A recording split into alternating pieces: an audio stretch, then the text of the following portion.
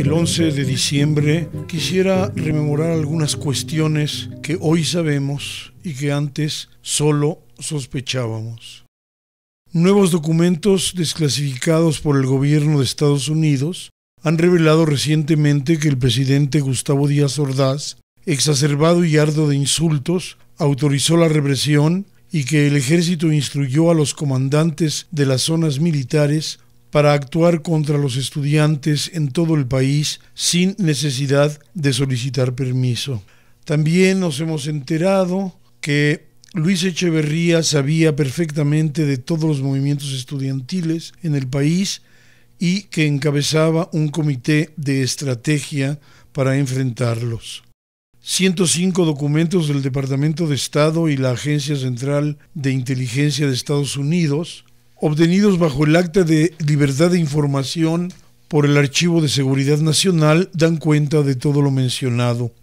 Además, sabemos que el 10 de octubre de 1968, el subsecretario de Asuntos Hemisféricos de Estados Unidos mencionó que agentes secretos intentaron dividir al movimiento y confirmaron que algunos líderes fueron utilizados por Díaz Ordaz para acusar a Carlos Madrazo y a otros políticos como instigadores. El subsecretario reportó que el ejército mexicano recibió la autorización para usar toda la fuerza contra los estudiantes.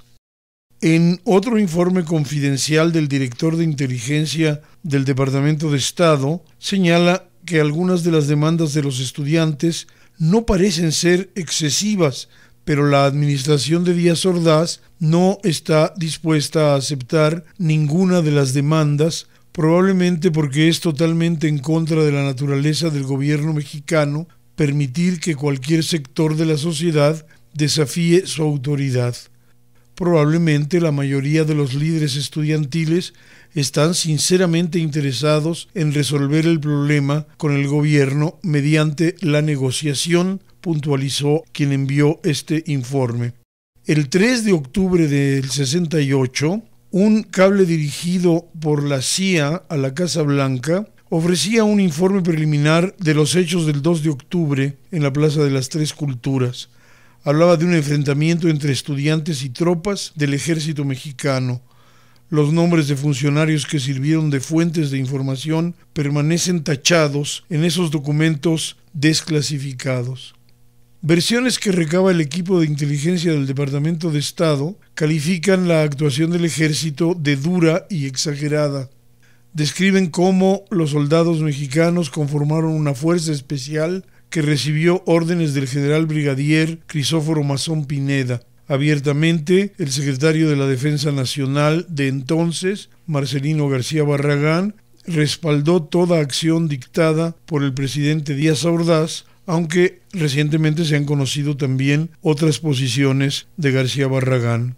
En varios cables se reiteraba que no había evidencias de que Cuba y los comunistas rusos estuvieran interviniendo en el movimiento estudiantil mexicano. Mientras en México se desconocían los detalles de las acciones emprendidas por mandato del presidente Díaz Ordaz, a Lyndon Johnson le entregaron los primeros reportes sobre las torturas cometidas por el ejército a los estudiantes en las ocupaciones de distintas escuelas y además informó de saqueos durante la matanza de la Plaza de las Tres Culturas a manos de las Fuerzas Armadas Mexicanas. Estas informaciones señalan que antes de que intervinieran las fuerzas militares, el regente de la Ciudad de México, Alfonso Corona del Rosal, se había comprometido a cumplir cinco de las siete demandas de los estudiantes, la principal de las cuales era la liberación de los detenidos. No cumplió su palabra y el acuerdo preliminar con los líderes estudiantiles no fue retomado por el secretario Luis Echeverría ni por Díaz Ordaz. Hoy estos asuntos son objeto de las acciones de la Fiscalía Especial que persigue delitos cometidos durante los movimientos sociales y políticos del pasado.